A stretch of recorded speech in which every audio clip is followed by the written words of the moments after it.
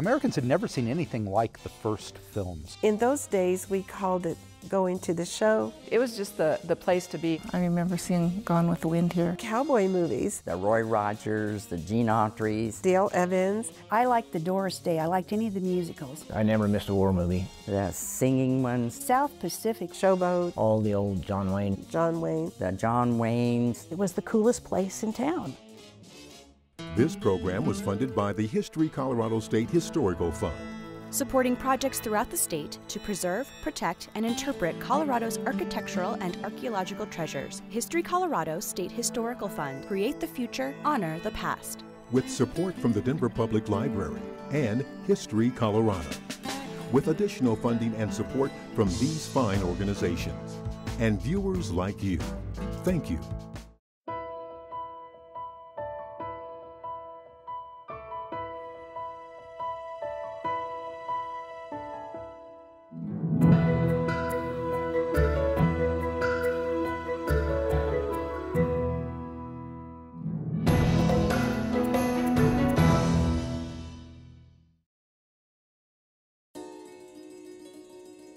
Movie theaters really began to flourish in the early 20th century with the invention first of the kinetoscope by Thomas Edison in the 1880s and 1890s. And then new kinds of innovations. Movies by the 19 teens had become something that were a common public experience. Edison had really focused on Nickelodeons, on, on small one-person screens where you put in a coin and turned a crank and watched a very utilitarian film of a train pulling into a station or somebody sneezing. But in time, movie producers began to tell stories, to hire actors, to have longer and more complicated plot lines. And, and by the 19 teens, movie producers and directors were really inventing the, what we think of as the language of cinema, of intercutting and parallel action and close-ups. And so the 19 teens were really the first golden age of cinema. Colorado in, in, the 19 teens was transitioning from a mining economy to more of an agricultural economy. And so these little towns on the plains really began to flourish. You could go to a town on a Saturday night and you could go to a pool hall, or you could go to an ice cream parlor, or you could go to a community lecture or a concert, or you could go to the movies. Julesburg is located in the extreme northeast corner of Colorado. The Hippodrome was built in 1919 by A.E. Lanning. He had a $10,000 investment into the building of the new Hippodrome. There were 17 other movie theaters in, in the county, but this was the first and only one built specifically for the movie industry. The movies uh, that were shown in the early years were your non-talking movies, your silent movies. Films in the 19 teens were black and white, although many films were hand-colored. They, they would actually tint every frame of the film so that you would actually see a colored film. And, and they were quite vivid because uh, the, the, the, coloring wasn't consistent, so people's clothing would, would sort of pulse with the colors uh, of the tinting, and, and it created kind of a fantasy landscape. When the show first opened up, it featured an orchestra pit here in addition to the screen. With the silent films came the piano player that would gear the music to the action on the screen. If it was a movie chase scene, they would increase the tempo. And sometimes they just winged it, other times they did have a score to go along with it. Films began issuing their own sheet music, their musical scores, for a musician to play as part of the film experience. It was cheap. 25 cents for adults and 10 cents for kids. The dialogue took place in title cards, which you had to read off the screen, so films were very literate. For far-flung communities like Julesburg, this was a moment for everybody to come together and share an experience. They provided common language that was unlike anything that Americans had ever experienced up to that time. The Hippodrome was the happening place to be at that time. These theaters are lavish, Art Deco buildings with incredibly ornate lobbies, lobbies that rival opera houses, and uniformed attendants who check your ticket and show you to your seat. When I was in junior high, I was an usher at the theater. It was so, so busy that by the time all the people start coming in, we'd have to find seats for them. So we just had a flashlight and would follow down and show them where they could sit if they couldn't find a seat on their own. Originally, the ushers at the Hippodrome, the ladies wore long gowns and it was very classy and very uptown. They treat you like a VIP. And the movie theaters themselves were so beautiful on the inside, so ornate on the inside, that even before the lights went out, you found yourself in a place of escape.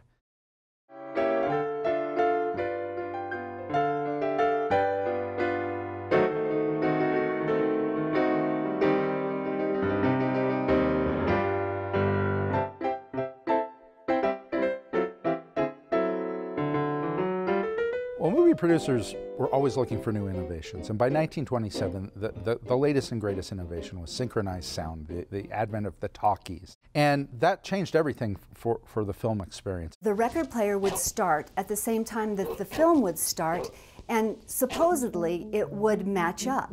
But with the film getting broken into many pieces and being spliced, the talkie audio didn't match the film that was being shown. And so they had to wait for the another film reel splice to be able to match up the talkies again with the film. Then next came um, where they actually put the audio line right into the film, and that solved all of those problems. We have one of the original projectors. There were two of them, so that you did not have an interruption. You ran one reel, and then the next reel would uh, start as soon as the other reel ended.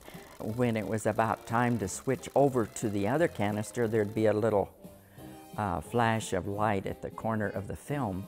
And then uh, it was a continuous movie. And if you didn't do that at the correct time, well, there'd be a skip in the show, you know or the film might break or something, you know, so there would be times that we'd have to turn the lights all on and, and there'd be a break in the movie. The projection booth was very tiny and cramped. When you got up into the balcony, it had a sloping floor. It was just exciting up there, but it was very noisy. You couldn't watch the movie from being in there. It was not conducive for that kind of entertainment, but it was just exciting to be up there.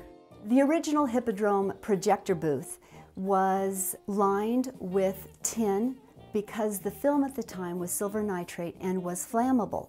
And so if there was an air or something like that and the film would start on fire, the tin around the room would save the rest of the building. And there was also a window in the back of the projector booth where if the place really started on fire, he could jump out of, land on the sidewalk out in front and save his life.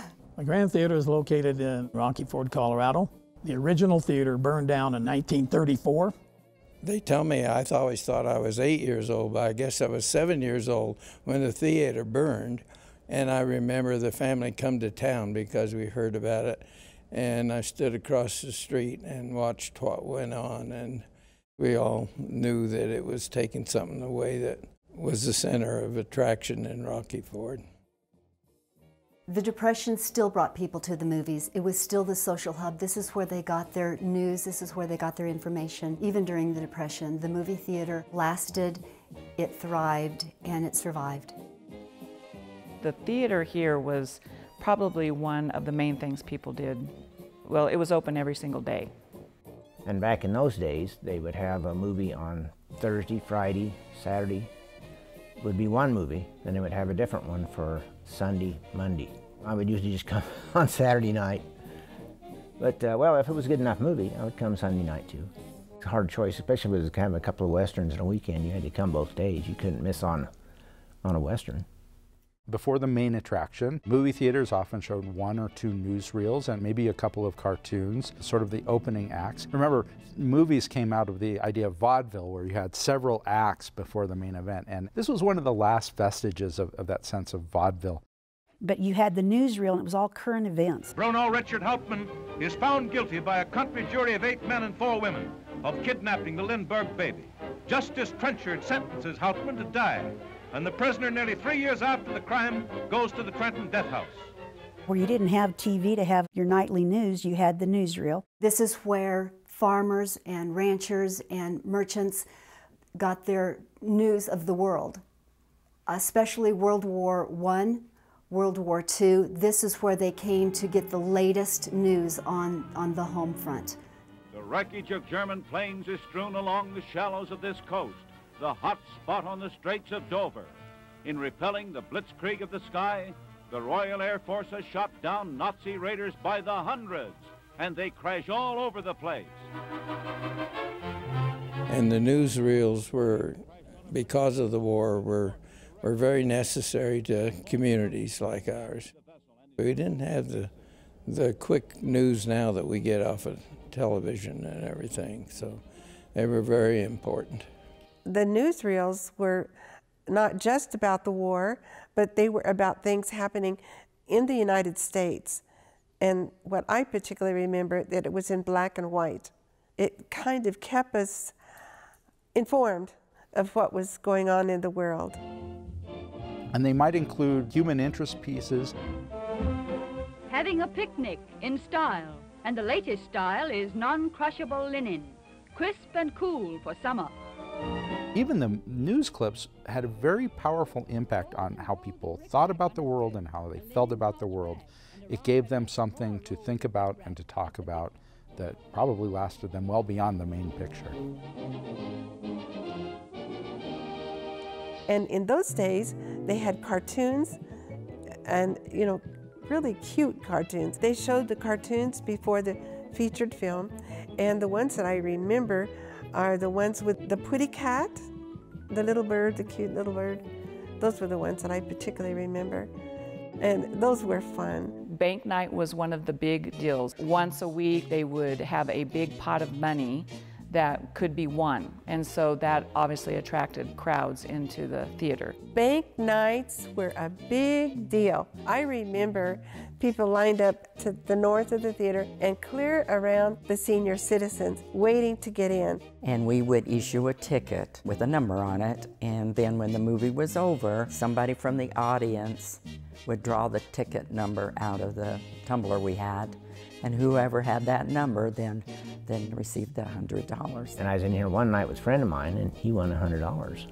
In those days, it was quite a bit of money. She's the lovin'est baby around Texas, around Texas, around Texas. And the fellas all know it in Texas. That's the reason I worry each day. But of course, you also saw the first movie stars. Movie stars came from everywhere. Ken Curtis, he came to town. It was an exciting time for us because we watched him on Gunsmoke. He was born and raised at Las Animas, but yet he was a big name star in our area. I just remember seeing him out in the lobby and that he was a handsome man and an actor from Hollywood. These were local boys that they were seeing up on the screen. People from their state, they could have been their neighbors at that point, who, who they were seeing up there becoming the big stars. My husband named our oldest daughter Kim because of Kim Novak. He loved a movie that Kim Novak was in. The second daughter was named Tammy. I named her because of Tammy and The Bachelor with Debbie Reynolds. Certainly, farmers had to come into town from time to time to do business. There were a lot of farm families, and they would mostly come in on Saturdays. So they would do their shopping, and they'd come get their supplies, and then they would bring their whole family. We had people from Wiley, Kit Carson, Wild Horse. We had good crowds. Burlington, Kansas, Nebraska. Crowley County and Fowler and Manzanola, uh, Swink and La Junta. It was a family thing. It was just always busy. When I was younger, my parents raised and milked cows, and we would bring the cream in to the train. Then we would go to the show. Coming to the movies was a great thing for us. And the theater used to be packed a lot of Saturday nights.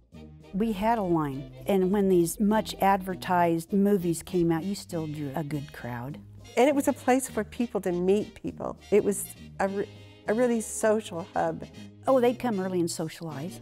A lot of the younger ones would come early, and we had foot races out in front of the theater. Oh, down on Main Street, you would have uh, cakewalks. They had the sidewalk marked off in little squares, and the, and the school band would come down, and they would play music and then stop, kind of like musical chairs. And if you were on the number they drew out, you won a cake. Saturday matinees, 10 in the morning. You could get your kid in for a nickel or a quarter and they can stay there for hours. For a busy parent, this was a godsend. You, you dropped your kid off at the matinee, they were there, you knew that where they were, they were in a confined space. We have um, a very unique room upstairs called the Cry Room. And the Cry Room is designed for mothers with infants or small toddlers. They can go up and view the movie. And the sound was in there. Not a whole lot of people would fit in, but it was a wonderful thing. When the son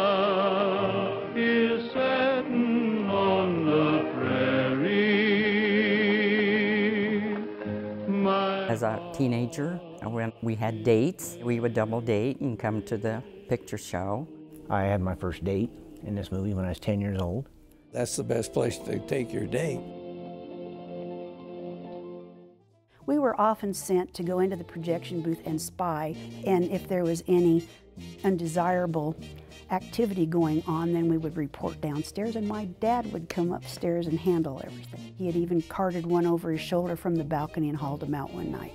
When he came down with the flashlight, you better be all quiet because he would make you sit up and he didn't want the feet on the seats or anything like that. So he took a lot of care with the theater, but he also kept us in line. We had water balloons go off the balcony one night, and we had a lot of popcorn sacks that would fly over and bomb below. And the kids would sit on the opposite side of the theater and throw those milk duds across the theater at one another. One time, one went almost through the screen. So that that alerted us that we needed to stop selling milk duds in the concession stand. Movie theaters aren't just a spectacle for your ears and for your eyes, they're a spectacle for your taste buds as well. You didn't uh, have too much change in your pocket, but popcorn was a lot cheaper too. the popcorn machine in our theater is an absolute focal point. I would love to know how many kettles of corn that popcorn's popped. Tastes good, good and salty. and that's when I won a Hershey candy bar. oh, one of them that I enjoyed was the Boston baked beans, milk duds. There were two glass, old time glass dispensers that were mounted to one wrought iron base, jelly beans and peanuts. And the jelly beans were a penny and the peanuts were a nickel. This is a place to go to feast your eyes and also feast your belly.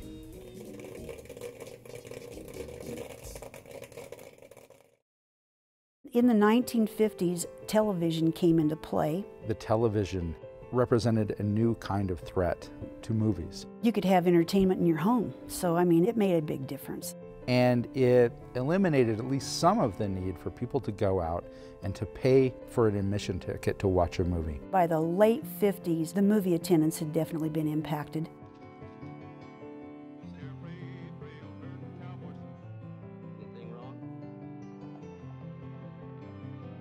When the Cliff Theater originally opened, they showed movies seven days a week. Things have changed when we got cable and we had VHS, and they have hurt our industry. Technology really basically ruined the experience of the small town theater. It really did. Technology took its toll on the movie theaters of the plains, and in time they began to decline uh, because they felt more and more like a relic of the past. At one point, our projection system was getting old. It was not predictable, and we were broken down for several weeks. And at that point, I think people realized, gee, I don't have a place to go. Well, when they were going to close it down, I went out of town to Yuma, to their theater for a while. I was just so glad when they got somebody that was going to keep this one open. Because I, I didn't want to miss all the movies coming out in this theater. When the theater closed, you know, businesses close, they kind of come and go sometimes, but when the theater closed, boy, it, we almost lost our soul or the heart of the community. My first husband and I moved to uh, Rocky Ford from California, drove down Main Street, and I said, Good, there's a movie theater. And then my neighbors told me that it was closed. A year later, I heard they were going to start refurbishing it. When I first uh, came to volunteer, there was peeling paint all over, water stains on the tapestries, um, holes in the screen.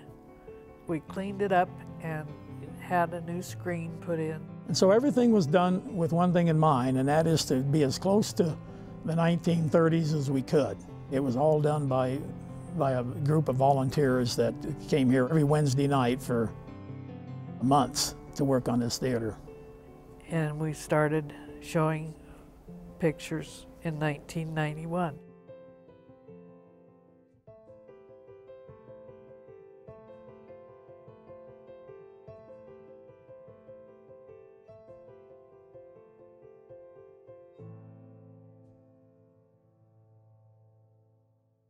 When you live in a small town, it's really important. That's your social life and your entertainment.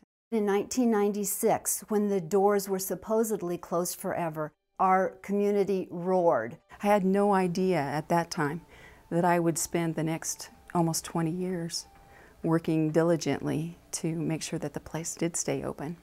We worked our tails off. We invited the school kids to come down and help clean it up, and they were troopers. They scraped gum off the bottom of the seats. They worked really, really hard. And do you know that those kids, till they graduated, were our best patrons? When we started this epic adventure of renovation and rehabilitation, one of the easiest decisions was to go back to the original colors. We chose these colors to, to show homage and show history and a legacy to the 1919 Hippodrome. In 2003, I had a group of kids that were sophomores at the time that were a class that was challenging and they were complaining, they were whining about there's nothing to do, we don't even have a theater. And I said, well, the way I see it, you can do two things. You can whine about it, or you can whine about it and then do something about it. And little did we know what that was going to cost us in years and time and volunteer efforts. So we would come down and we would clean. It was so dusty, it was so bad, and we noticed that the murals were deteriorating. And it was very sad because we all grew up with those murals. And so, you know, we wanted to preserve those. There was leaking going on on the wall here to the south. It was, I mean, it was crumbling. The stucco was coming off. You could see brick. It was bubbling. It was scary. And we knew that the roof was not doing well. And so we vacuumed and we scrubbed and we, we did what we could. In 2006, this, this class was going to graduate and they had a plan and they presented the plan to the community. They asked people to sign up if they were interested in helping and they went to the town after that and they went to the commissioners and they got everybody to agree. I don't know how, but they all agreed. By April, we formed a nonprofit, the Crow Luther Cultural Events Center, and after that, away we went. Preserving the murals and the tile and the popcorn machine and really anything else that we could, those stories are what tie us together from generation to generation, in fact. And when you share those, it's it's just interesting. It, it, doesn't matter how old you are, how disconnected you might be. When you can share some kind of a story, it just you can just see people sucked back in together. Movie theaters on the plains don't have very large audiences. Um, they have very small uh, pool of people who are going to come, and anytime there's a new technological change, it's very difficult for small movie theaters to keep up. The most exciting thing now was when we were faced with losing the theater because of converting to digital. If we wanted to stay open, we would have to go to digital because that's the only thing that was going to be available. Films, as they were, would be no more. We had to change, we had to update, we had to become more modern to survive. Go digital or go dark, convert or close. And after being in business since 1919, there was no way we were going to let this movie theater not go digital. And we didn't know where we were going to come up with around, around $100,000 to get digital, and uh, we were able to raise the money in about three months. It was pretty much raised here in the community. The history is all through this theater. Well, everybody likes to feel connected to something. And one of the first things that someone that went to high school here, they've gone on, have other jobs, but they come back they want to go to the theater. It's the memories of the people. There's something about your hometown that just, when you talk about it, you almost cry. And it's just that those happy memories, you want them to remain. And we are blessed because they're made of brick. And with every community, what is absolutely necessary is a, a sense of place.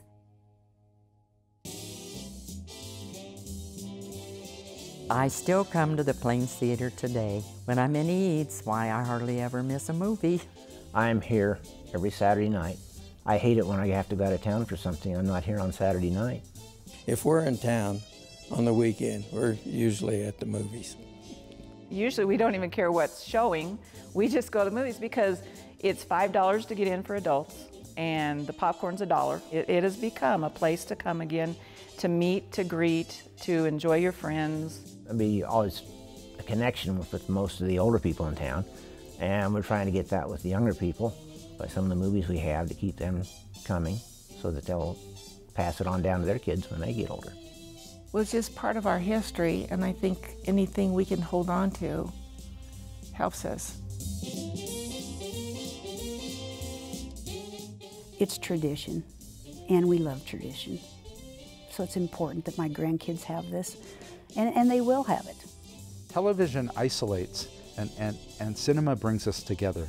I have a big screen TV and I have like a hundred and some channels. It's hard to watch all the shows on there, so you come down here and you watch one movie that you really like. And you put it away in your memory for the future. And that's what we hope the younger people will do. And remember all these movies that they saw when they were growing up like I do. And bring them back, tell their kids about them, their grandkids. So that's why we need to keep the theater around.